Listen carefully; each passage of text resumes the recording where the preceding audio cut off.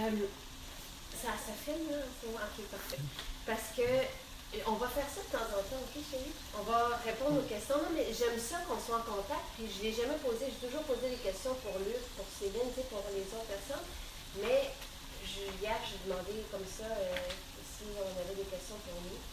Donc voilà, ça c'est les questions que. Je t'ai inclus là-dedans, oui. Parce que mon chum n'aime pas ça. Mais bon. Euh, Céline Bigot demande qu'est-ce qu'on pense de l'huile de carignan, mais ça, je vais répondre, OK?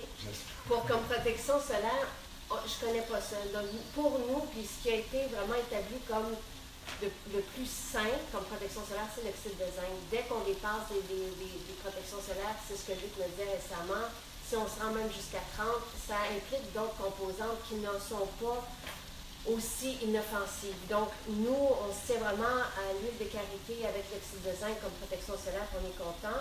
Roselyne de Liberté demande... Attends, je- Donc, léger pour nos enfants, mais ça équivaut à quoi? Quand est-ce que je dois mettre une protection plus importante, par exemple, Ben- pour Charles qui va jouer là? Ben nous, on en remet, c'est tout. On en remet. On était en Ok. vacances, ça été, demi, c'est vrai. On était au gros soleil, dans un parc, puis on, est- on se promené en Bourgogne, puis c'est là que tu me dis par an, par an, cette protection solaire-là, parce que... Puis ça, c'était il y a deux ans. C'est là où ça... Je, je- je- quand même, je fais attention à ce que je dis, Fais mais ça attention parce qu'au niveau l'égalité, c'est Oui, faut- mais faut- on, ah, je t'avais pas demandé. On va le faire faire. On va le faire approuver par... euh, Mais ça ne l'est pas pour Pas, l'instant. pas encore, mais nous, donc c'est ça que je dis, nous, c'est ce qu'on utilise sur les enfants et sur les bébés. Point numéro 2. Roselyne de Liberté par- demandait des questions sur l'eau, mais on en parle ce soir dans l'émission avec le docteur Bouillard, c'est super. ça va bien jusque Nancy, puis on devait faire ça à 9h30, mais mon chum avait un rendez-vous à 9h30. Fait que C'est pour ça qu'on est en retard. La prochaine fois, on sera à l'heure. C'est ça, comme ça, être à Non, l'heure. tu me fais avec plus fort qu'avant, j'avais rendez-vous à 8 h à Saint-Philippe. Continue. Ah. à l'autre maison. euh. Donc, Nancy Gendreau, bonjour. euh, je me suis rendu compte que le jeûne peut être très bénéfique pour la santé. Nous autres, on n'est pas amateurs de jeûne. Fait qu'on n'en parlera pas. Moi je, moi, je suis incapable de jeûner. Incapable. Toi, es-tu capable? Moi, je crois que quand les gens jeûnent, généralement, c'est parce qu'ils n'ont pas touché. Ah, ok. Ouais. Donc, on ne parlera pas de jeûne. Et même tous ceux qui sont autour de nous, là, dans, dans la communauté scientifique, ils n'y croient pas, non. Quand on allait chasser une baleine, avant, ça durait jusqu'à 5 jours. Même chose pour le bison. C'est certain qu'on ne veut pas manger le jour 1, 2, 3, 4. On était à la chasse. Ça. Mais, mais c'est bon. Mais on aime ça. Oui, mais c'est le fun aussi, je regarde ton intestin, c'est le fun aussi de. C'est tout mon Non, mais c'est le fun de donner un break à notre système digestif. Comme du soir au matin. Ouais, la, Du la soir au matin. On- moi, je donne un break à mon système digestif en mangeant ton menu. Exact. Je délaisse le menu des enfants, ou traditionnellement le mien, pas avec le tien, mais Oui. je jeûne pas. Le smoothie le matin, pour moi, c'est un, un- un- Dans le sens qu'on. Oui, on épargne notre système digestif et oui, c'est intelligent, mais jeûner, moi, je peux pas. Euh, Fait que juste mettre ça clair, quand on parle de detox, toi, c'est pas dans le sens. Parce que ça, c'est important. ça, oui, je suis content. Fais juste, as une minute pour en parler. OK. Pour moi, le terme détox, ça signifie de manger proprement et de façon rentable et nutritive. De ne pas encrasser notre système digestif. Donc, c'est de manger des nutriments qui vont bien se digérer et qui vont bien fournir l'énergie nécessaire à notre système digestif. Donc, c'est ça pour moi. Détox, ça équivaut se nourrir sainement, de façon propre et rentable. Ça ne veut pas dire de faire des jeûnes ou de se priver. euh, Non, moi, je mange de façon gourmande, mais euh, hautement digeste. Parfait. Voilà. Ouais. Euh, Myriam Tellier, voilà où toi tu pourrais y arriver. Elle a pas son entreprise, puis elle veut, faire, elle veut savoir comment on fait pour être un peu en marge de ce que les autres font. Elle dit, vous, vous le faites si bien, gagner de la crédibilité.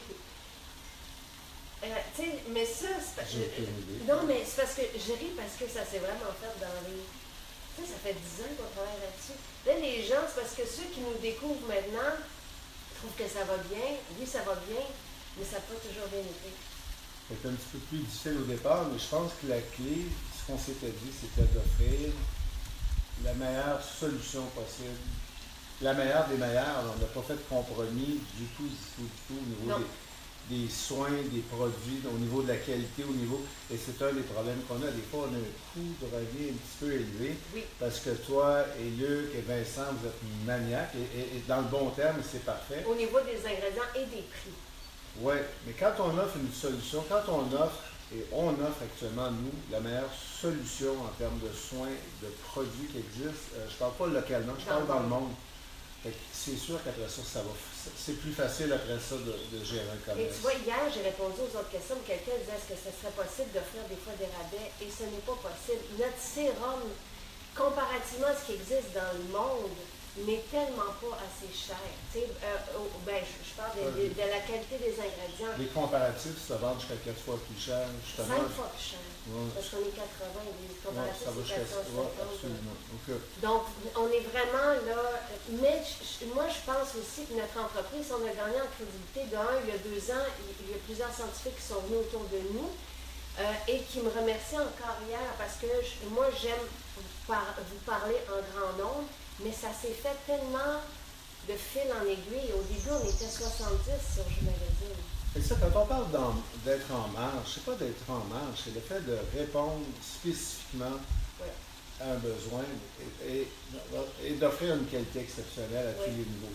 C'est des fois qu'on on tend vers ça. Et on en parlait encore hier. Moi, j'ai des projets que, j'entends avec ton accord, les Bourguisiens, les émissions, tout ça. Je fais une meeting voyage tout à l'heure. Ah, parfait. Des, des voyages qu'on ferait, mais des voyages chantés. Ça nous a été demandé, puis là, ben, ça se pourrait que ça se concrétise. Ce ne sont pas nécessairement des projets rentables, comme on qualifierait de projets rentables. Moi, ça me tient à cœur parce que mon plaisir, c'est de, ma passion, c'est de partager avec vous. Euh, mais je fais ces projets-là pour répondre à mon besoin en premier. Tous les projets, dans le fond, même l'école au début, c'était vraiment de façon très égoïste. Tu en as plusieurs des projets non rentables. C'est ça, il faut faire un juste milieu, il faut essayer de gérer ça. Mon chum gère ça. Mais il n'y a rien qui te, dit non à rien. Non. Mais, c'est bien de vouloir partager, c'est extraordinaire, mais il faut aussi vivre dans une certaine réalité. Au départ, l'entreprise a commencé, on n'avait absolument aucun produit? Non. Euh, on n'était pas tous à temps plein, on n'était pas autant dans l'entreprise, mais pendant un an et demi, ça a été qu'un partage de connaissances et de découvertes, avec zéro produit à vendre, puis des frais quand même importants au niveau du site, au niveau de n'importe quelque chose. Et des échecs. Certain. on continue. Euh, après ça, bon, quelqu'un dit Je laisse mon emploi aujourd'hui. Elle dit J'ai quelques vertiges, mais le cœur léger. Est-ce que ça vous est déjà arrivé? C'est pour ça que je voulais que tu sois là. Ah, J'ai laissé mon emploi, moi, peut-être dans les années les plus rentables. C'est une décision auquel il n'y a aucun comptable qui m'aurait conseillé de faire ça parce que fonds de pension, tout ça, les cinq dernières années qui valent les 20 premières, puis faites le calcul. Euh, J'aurais dû arrêter une année avant. comme. Mais c'est trop long. Je ne peux pas répondre à ça comme ça parce qu'on a peu de temps. Euh, évidemment, les situations sont différentes pour tout le monde, mais si la personne, il ne faut pas qu'elle mette en péril euh, sa maison, puis le, bien-être de ses enfants et tout ça, mais il faut faire le calcul, puis des fois, là, on s'imagine que ça en prend tellement, tellement plus. On vit plus longtemps qu'avant, mais on ne va pas vivre jusqu'à 150 ans. On a tendance à moins dépenser plus qu'on vieillit. Hein. C'est comme. moi, j'ai, comme nos besoins, on va moins au restaurant, on ne sort pas. Euh, on mange mieux à la maison. On mange mieux à la maison. Euh, certains besoins, quand on est jeune, sont moins présents quand on vieillit. Des fois, ça peut être au niveau de vêtir, de se véhiculer, etc. On vit un peu plus dans la simplicité, même si je ne suis pas simplicité volontaire du tout, du tout. Euh, on a besoin, bon, il y a des choses qui nous intéressent plus. Fait que ça vaut la peine de calculer. Des fois, on s'aperçoit qu'on a jusqu'à 120 ans du budget. Fait qu'on a assez. Et on a une vie à vivre. Puis moi, je me dis toujours, si je meurs la semaine prochaine, qu'est-ce que je vais faire? Et ça, c'est un vieux refrain. Et, ça, je ne veux pas mais, mais de, prendre la décision, justement, de, le faire. Parce qu'à un moment donné, on a beau être bien dans quelque chose, mais on a peur de l'inconnu. qu'on reste là-dedans. Ça aussi, c'est un slogan inconnu. Mais Dieu sait que si le budget le permet, puis il n'y a pas trop d'insécurité, prenez donc des décisions. La vie passe à travers le changement. Et moi, je pense qu'on ne peut pas perdre à s'écouter. Et j'en ai, eu beaucoup des vertiges comme ça, des pages blanches, parce que j'ai été travailleur autonome longtemps et je n'ai jamais regretté. Et un jour, la vie nous sourit. Euh, des soins naturels pour les cheveux. Aussi, ben oui, c'est excitant. Euh, quelqu'un demande des soins naturels pour les cheveux, puis on se faisait demander pour un salon de coiffure aussi. Ben, les, les shampoings, on est vraiment en, en Ça vient de quand? Parce que moi, j'en veux. Ben, On, est, on l'utilise dans notre salle de bain, nous, mais ça s'en On vient. est en C'est- de très long, mais on va avoir quelque chose. Ah, de c'est ce qu'on fait souvent. hein. Ce que j'aime de Luc, des fois, c'est qu'il vit des Ah, semaines on et des on mois avec, un produit. Après ça, il t'en parle, puis on fait la même chose, puis on arrive à. C'est intéressant, ça. C'est fun. Quelqu'un parle des, de, pose des questions sur les antibiotiques les systèmes immunitaires des enfants. Donc ça, ça sera répondu par Céline et Dr Brouillard au cours de l'émission. Moi, je ne peux pas le faire. Des recettes naturelles pour empêcher euh, de nous faire piquer, ben, on a un super chasse-moustique qui a été créé par Luc. En fait, c'est un chasse-bébite, c'est pas juste un chasse-moustique. Et pour les animaux, parce qu'elle pose la question, moi, je mets de la lavande, de l'huile essentielle de lavande pour repousser les, les, puces et tout ça. Mais et pour les tiques, la menthe poivrée les gèle, littéralement. Ça, c'est Luc qui m'a donné ce. Allô, bébé! Les dangers du Wi-Fi, ça se passe ce soir à l'émission. Docteur Brouillard parle de l'eau et du Wi-Fi ce soir. C'est merveilleux. Il parle même de l'électricité parce que moi, je veux une switch qu'on met l'électricité à off. Et il dit ce soir que ça serait bon de faire ça une fois par semaine.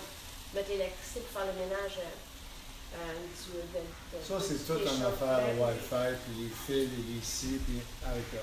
Euh, la ménopause, oui, ça va se faire. euh, euh, on, on a un article, on va le mettre là, mais Véronique Bourbeau, qui est une super naturopathe, quelqu'un me posait des questions, tu sais, si euh, vous- euh, qui voulait faire une détox de métaux lourds.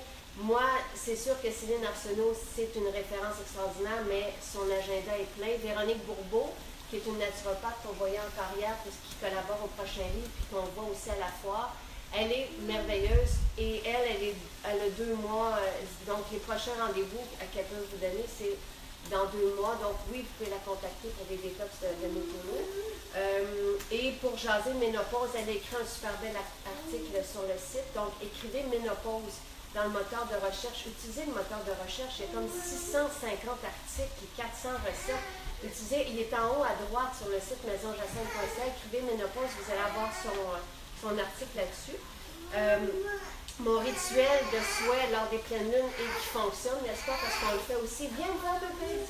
Viens me voir. Euh, toi, tu voulais pas le faire pendant 10 ans, tu voulais pas le faire. Puis quand tu l'as fait, finalement, les choses ont changé. Mais ça aussi, les souhaits, l'article, ça a été fait Non, sur ça, euh, le site. ça, c'est à prendre au sérieux. Ça, il faut vraiment le faire. C'est juste, à ça que j'ai arrêté de travailler. Piéton, mon amour. Allô, mon chéri. Et euh, ensuite, OK, quelqu'un parlait des, des alternatives aux noix. Ça aussi, on a un super bel article sur les alternatives pour manger des noix sur le site. Sur ça, je pense que tout a été répondu. Puis Michel Legault, qu'on aime tellement, voici mon petit livre. Moi, c'est tous les petits livres de Dominique, euh, voyons, Dominique Leroux, L'art de la simplicité. Pour le minimalisme, tout ça, pour moi, elle me parle infiniment. Puis vous vouliez qu'on fasse des vidéos pour se calmer, se déstresser, c'est une très bonne idée, mais on le fera dans l'émission. Comme ça, ça sera gratuit pour tout le monde. Merci Michel Declin, merci à tout le monde d'être là. Écoutez l'émission ce soir, elle est merveilleuse. Avec Georges Avec Georges et moi. et toi, c'est très drôle.